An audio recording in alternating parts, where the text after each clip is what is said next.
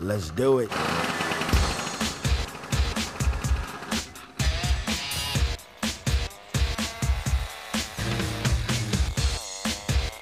Hagenaar Piet is de oudste poegrijer van Den Haag. Waarschijnlijk zelfs van heel Nederland. In 1958 kocht ik mijn eerste poegie. Dat was schitterend. Hè, En je kon er je mei- de meisjes mee versieren. Oh ja, hoe ging dat? Ja, dat ging nogal makkelijk hoor. Want ja, die, waren ga- die wouden graag achter op een bommetje zitten. Ange Borgo en Beppie Rotier, Rietje, Ellie, eh, noem maar op. Die zaten allemaal achterop. Ja, ik probeerde alles uit. Poegfried Hans komt gezellig bij Piet om een ritje te maken.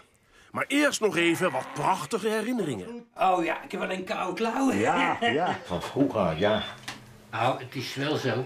Het is in Den Haag is het een hype geworden, die poeg. Het eerste wat we deden, dat was een stuurtje eraf slopen. Juist, En en een een- hoogstuur. En een hoogstuur erop. Hoogstuur.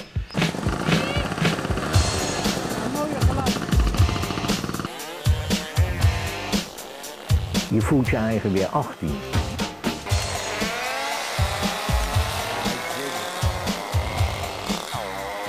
Met Hans heb ik al zoveel ritjes gehad en met Benny. Naar Parijs, ja, dat was schitterend.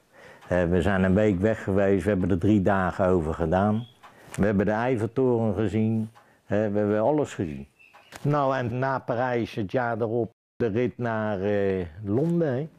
Londen, Parijs, alle herinneringen komen weer boven. God, hebben we toen Ja, dat is zo. Ik wou dat ik weer 18 was. Dat zeg ik elke keer. Kijk, als we weer een ritje hebben.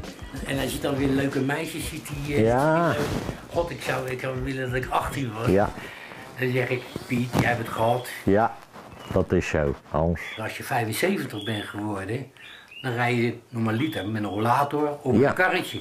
Ja, Piet niet. Piet niet. Piet rijdt op de poeg. Piet rijdt op de poeg. Zolang ik me goed voel, blijf ik poeg rijden. Je moet helemaal niet raar opkijken als ik 80 ben, dat ik nog met jullie meerijd. Maar ze zei al, dan kijken we hoe het gaat met je. En anders krijg je zijwieltjes aan je poeg. Ja, gaat dat niet meer?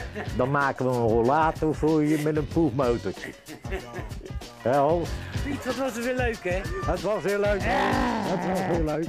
En hoe oud ben je nou? Ja, jammer genoeg 75. Maar je was er 18? Oh ja, 18 jaar.